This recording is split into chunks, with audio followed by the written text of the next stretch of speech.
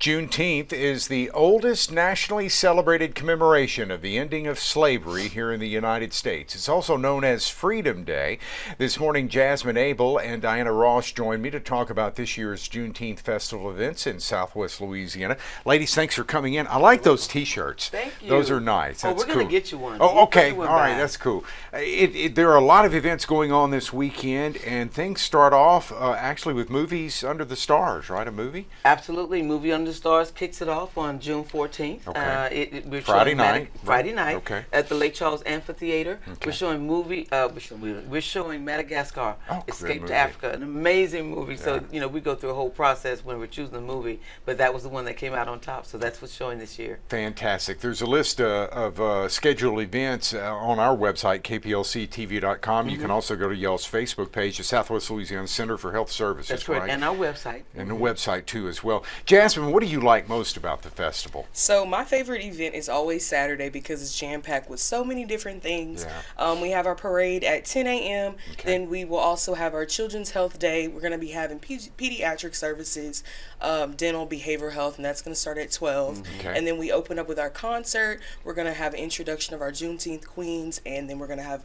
various musicians and dance groups throughout the day. Great. What time is the parade and where does it start? The parade starts at 10 a.m. Lineup is at the Lake Charles Event Center, Okay. and it goes down Broad Street, down Enterprise, back down Mill to the Event Center. All right. What else is happening? Oh man. Uh, Well, what is not and- happening? right. So in addition to that, now we also, uh, you know, the the festival is also one of the reasons we do because we give out scholarships Mm-hmm. to deserving students in all the parishes that we serve. And this year we're giving out eight one thousand dollars scholarships. So, so the scholarship brunch is also going to be there, but it's you know for most of our sponsors only. Right. Uh, and then on Sunday we do worship at Mount Olive.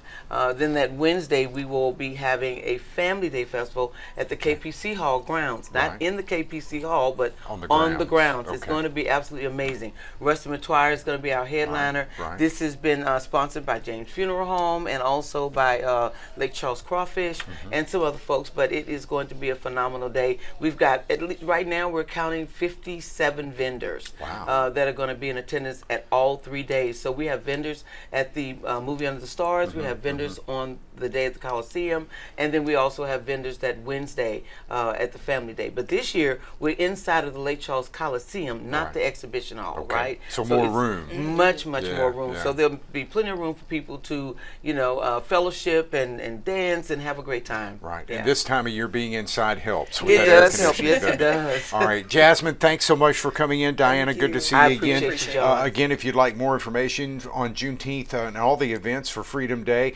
uh, go to kplctv.com. That's a link. Or uh, Google the Southwest Louisiana Center for Health Services. Absolutely. And they can they can hook you up with all the different events. We, we, we welcome everyone in our community. This is a community event, not yes. just a cultural event. It is it celebrates our culture yeah, yeah. and our freedom, but it also celebrates the freedom of the entire country. Everybody, so we'd invited. like everybody to come out. Yes. Jasmine, Diana, thanks for coming. Thank you, so much. John.